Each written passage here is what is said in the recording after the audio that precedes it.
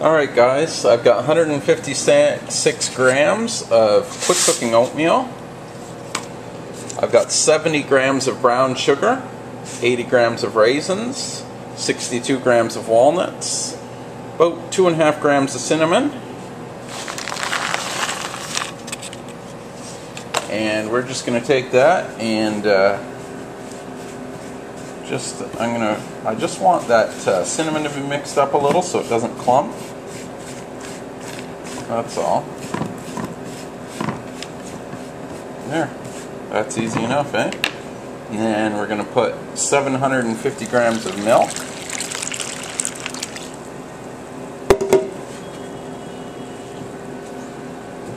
And just like that, mix it all up.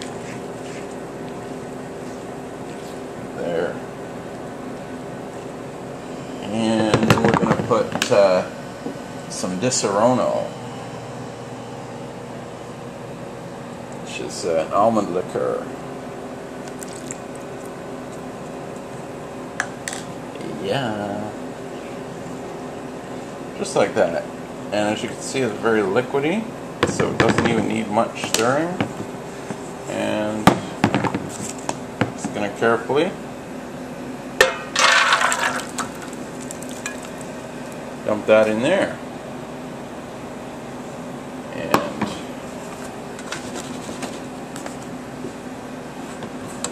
maybe a little bit of a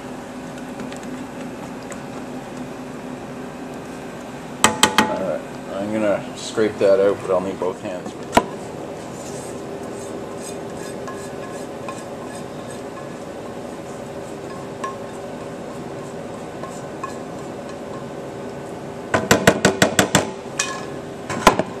Excellent. So, I'm just going to put that spacer put that on top. My alarm's going in the background. There we go, give it 20 minutes. So my timer just went. Let's have a look. Ooh, that kind of looks nice, doesn't it? I've never eaten this before, but uh, looks yummy.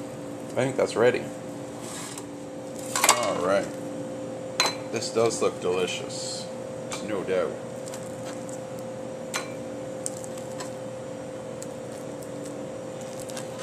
That will be my supper. Yeah. So I'm going to taste this. This is um, sort of like a baked oatmeal with raisins, walnuts, cinnamon, Disaronno. Mmm and I'm not gonna lie, that's delicious. Next time I make it, I'm gonna add two grams of salt though. It could use just a hint. Cheers.